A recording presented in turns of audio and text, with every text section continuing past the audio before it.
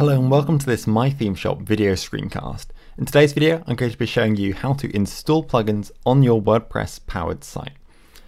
Now the first thing to do when installing a plugin is to hover over on the left hand menu, hover over plugins and then click add new.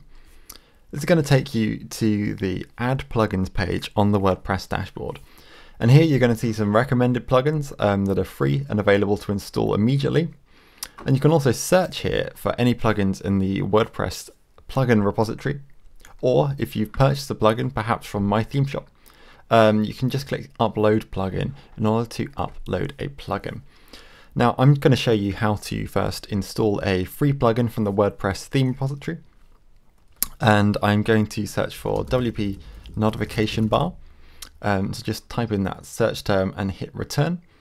And we're going to see that uh, the WP Notification Bars plugin by My Theme Shop is available to install. And you can see things such as when it was last updated. So here it was five days ago. Whether it's compatible with the latest version of WordPress and your version of WordPress. Also how many installs it's got and its star rating. If you want to find out more details, you can click on more details here and that's going to load up some extra information that's going to tell you a bit more about the plugin.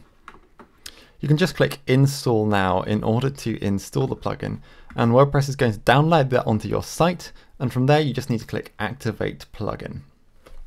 That's going to activate the plugin and um, now with this plugin I can see I've got notification bars now activated.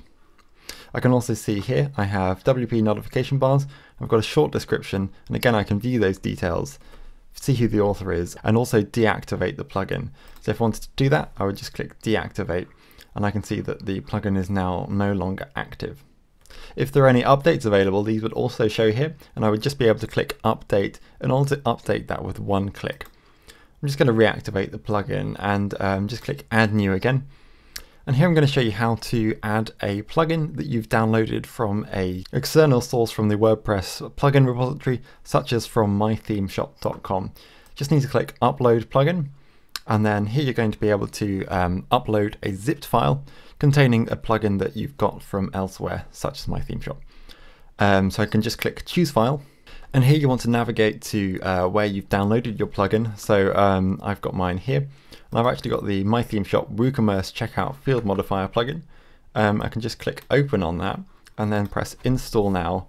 And then WordPress is going to upload the plugin and to activate it. Again, I just need to click activate.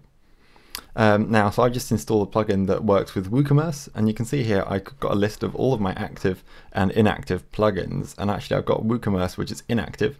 So to activate that now as well, I would just need to click activate. And um, that's really all there is to it then. Uh, installing plugins from the WordPress dashboard is really simple. If a plugin's available on the WordPress plugin repository, then you're going to be able to just do a search for the plugin name and install it straight from the dashboard or if you've got one elsewhere, you just need to click upload, choose the plugin files, click upload, and then you're going to be done. WordPress is going to handle everything else for you. Notifications for updates are going to be uh, displaying here, as well as on the top of the menu as well. So you've got really easy access to updating. That's all there is to it. Thank you very much for watching.